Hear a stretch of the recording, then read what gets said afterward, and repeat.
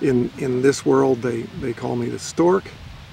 That's been around for quite a while, most of my most of my disc playing life. So the stork. Someone once said that it's that it's prediction is is extremely difficult, especially if it's about the future. Uh, and it's it's really difficult to say what the what the future of disc sports will be. Um, there are many, many wonderful things in the world that, that get undervalued. Um,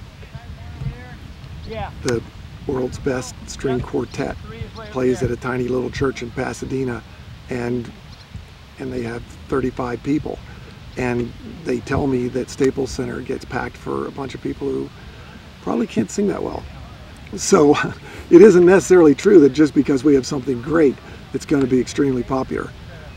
What I hope for it is that I hope we will continue to have vibrant opportunities for people to play who find the sport and, and choose it.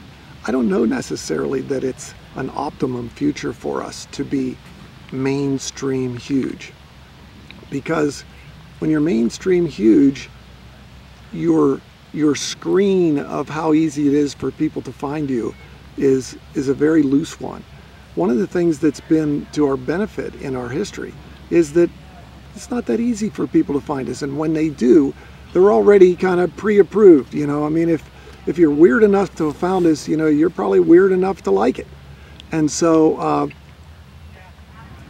I, I think that many of the things that, that we've liked about the maverick pioneering aspect of it, uh, I'll be happy to see it continue in in in little ways.